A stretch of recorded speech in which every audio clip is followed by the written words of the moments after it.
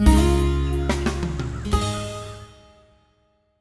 everybody, it's Brad with Big Family Homestead and in this video I'm going to show you how you can dehydrate spaghetti at home.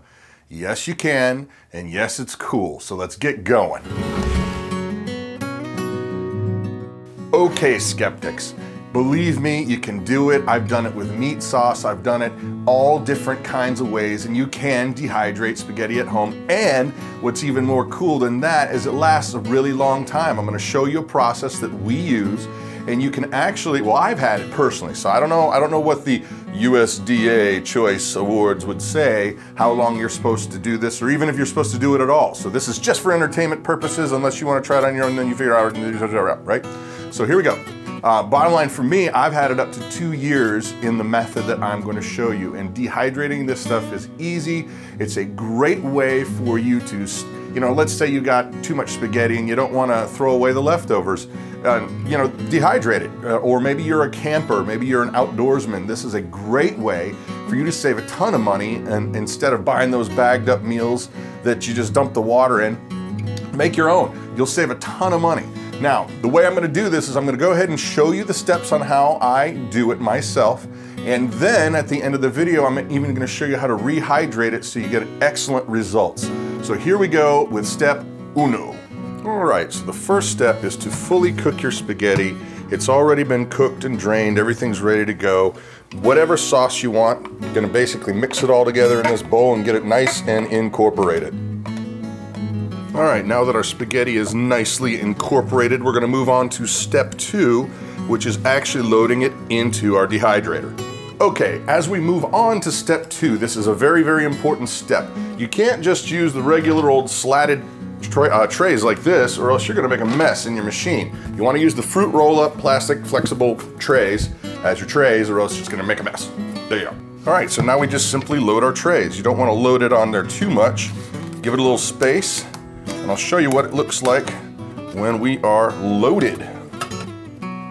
So here's what we have with our loaded trays. I do like using one of these spaghetti uh, noodle holder thingy dealies, whatever to spread it out real nice. You want to make sure that there's good gaps between all the noodles so that it will heat evenly and dry evenly. But have, there is one more important step that we've got to get to, and I'm going to tell you that before we turn on this dehydrator right now.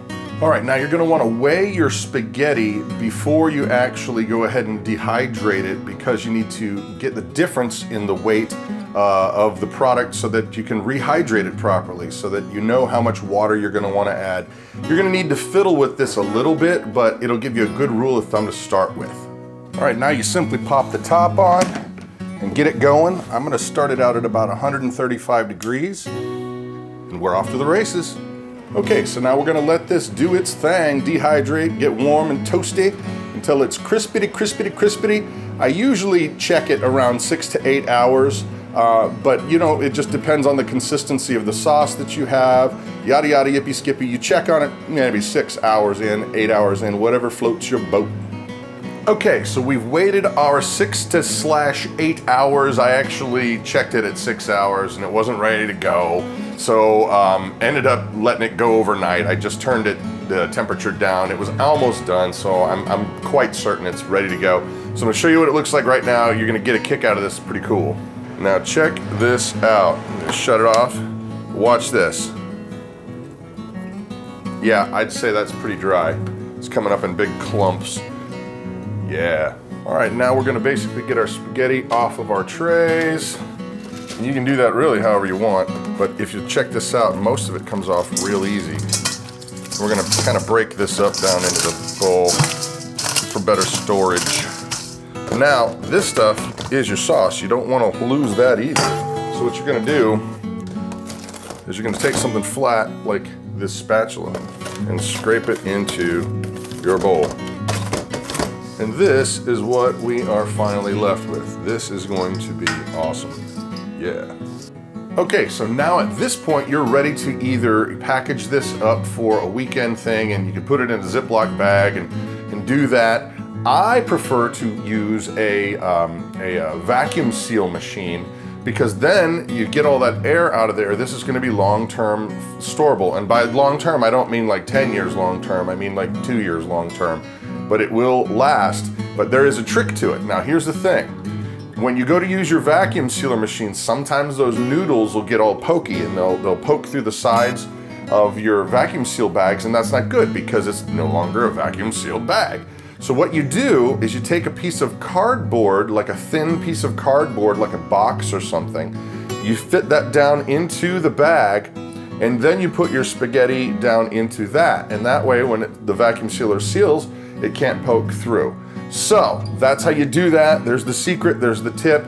Now I'm gonna go ahead and show you how to rehydrate this stuff based on our math, right? All right, in we go.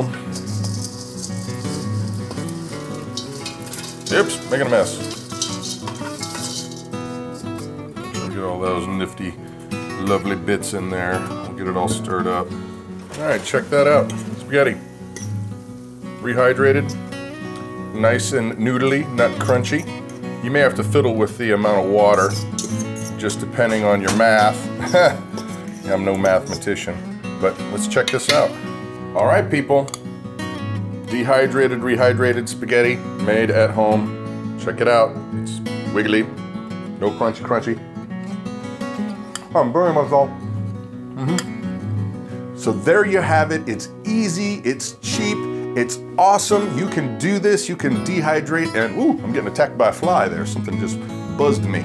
Anyway, you can dehydrate and rehydrate your spaghetti at home. Easy, no problem. Please, if you like the video, share it, pass it around, like and subscribe. It greatly does help my family out. I am Brad with Big Family Homestead, and you have an amazing day.